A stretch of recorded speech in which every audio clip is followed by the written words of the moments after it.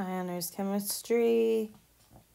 This is still Unit 2, and we are calculating decay using the half-life formula.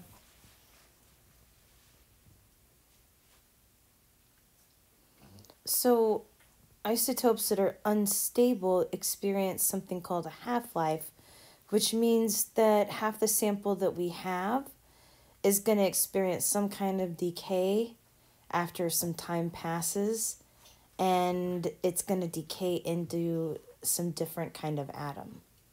And I am using this chart from another um, example that we did on this unit. And I'm going to be looking at carbon 11. If uh, you look on this table, carbon 11 has a half-life of 20.364 minutes and when you write the reaction after it experiences electron capture, it's going to decay into nitrogen 11.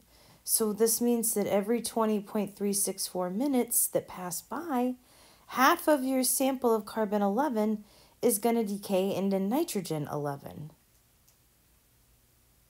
So let's say that you have 100 grams of carbon 11 sometimes it helps to have like a visual idea of what's happening. So I'm choosing red and blue. Carbon 11 is our sample, and nitrogen 11, the red is what it's going to decay into.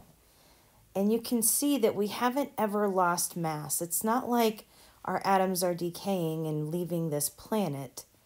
They're actually decaying into a different kind of atom. The mass of the sample is still 100% there.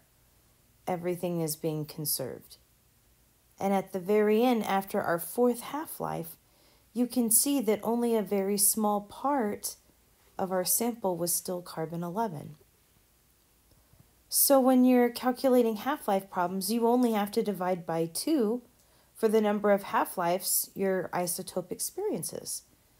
There is a problem like this on your homework it says how much carbon 11 will remain in a 100 gram sample after experiencing four half lives. So I just take 100 and I divide it by 2, that's my first half life. I take the answer 50, divide that by 2, that's my second. I keep going, and at the end of four half lives, I get 6.25 grams. But sometimes we need to do a calculation that involves a specific number of years instead of a number of half-lives. So for these kinds of problems, we're going to use the formula for decay. And we have talked about this formula a lot in class. And I wrote what each variable means. So how do we put this into our calculator? The first thing we're going to do is we're going to divide the exponent. Then we're going to take the 1 half to the power of that exponent that you just divided. Then we're going to multiply the initial mass by the number that you just found in number 2. So how much will remain of a 75 milligram sample of carbon 11 after two days have passed.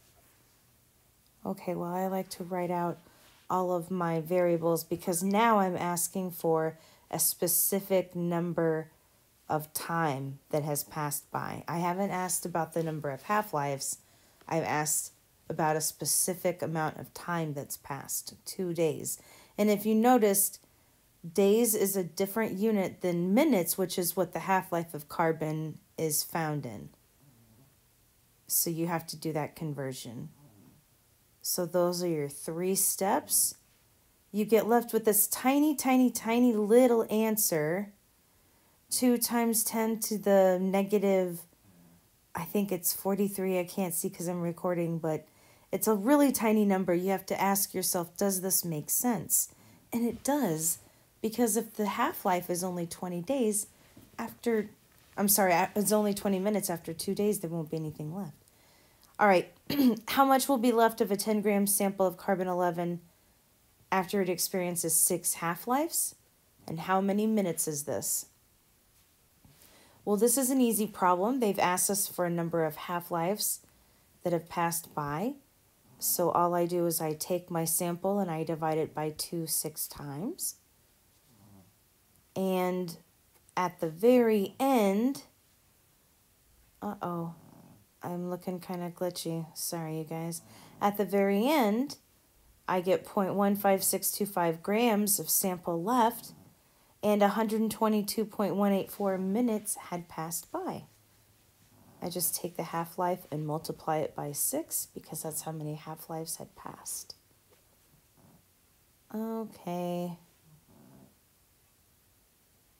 Final example, how much will be left of a 10 gram sample of thorium-232 after 10, 10 million years have passed?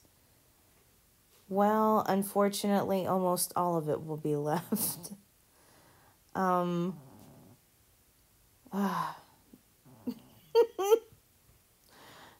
Don't give up, chemist try. Have a good night or a good day or a good afternoon.